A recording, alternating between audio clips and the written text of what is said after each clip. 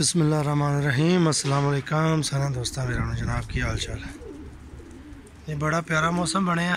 ਹੈ ਵੇਖੋ, ਬੱਦਲ ਬਣੇ ਆ। ਤੇ ਦੋ ਦਿਨ ਕਬੂਤਰ ਡੱਕੇ ਰਹੇ ਹਨ। ਤੇ ਅੱਜ ਬੂਹੇ ਖੋਲੇ ਨੇ। ਹਲੇ ਵੇਖੋ ਇਹਨਾਂ ਦੀ ਨਿਕਲਣੀ ਬਾਹਰ।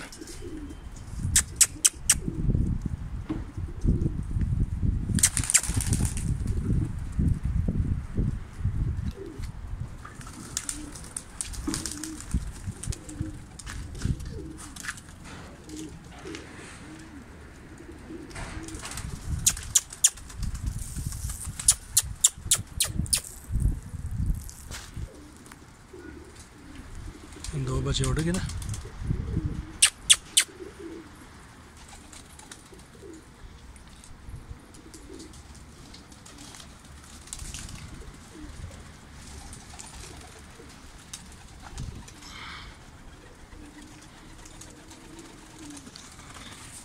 ਅੱਜ ਪੂਰਾ ਇੰਜੋਏ ਵਾਲਾ ਮੌਸਮ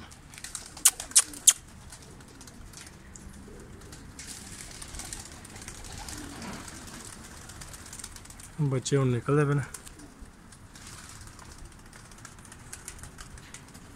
ਦੋ ਤਰ੍ਹਾਂ ਉੱਡ ਗਏ ਨੇ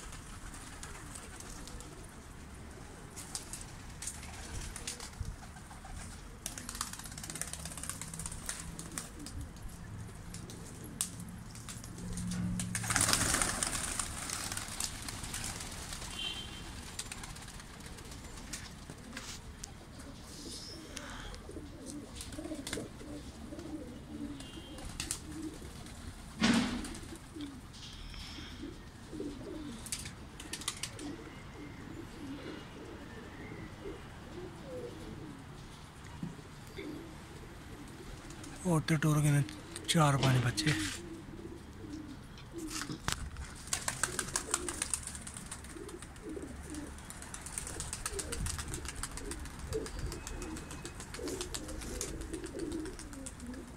ਅੰਦਰ ਬਨੇ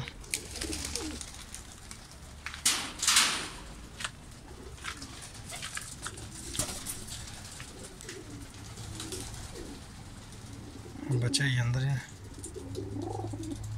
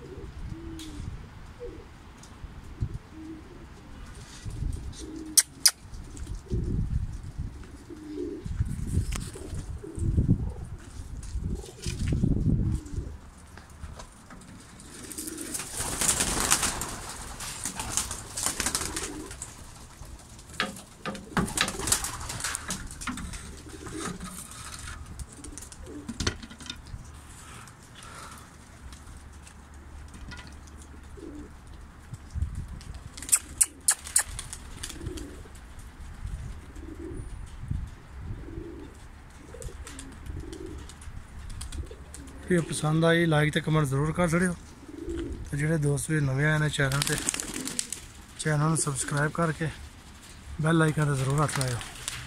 ਕਿਉਂਕਿ ਲੇਟੈਸਟ ਵੀਡੀਓ ਦੀ ਅਪਡੇਟ ਸਾਰਿਆਂ ਨਾਲ ਪਹਿਲਾਂ ਤੁਹਾਡੇ ਕੋਲ ਪਹੁੰਚੇ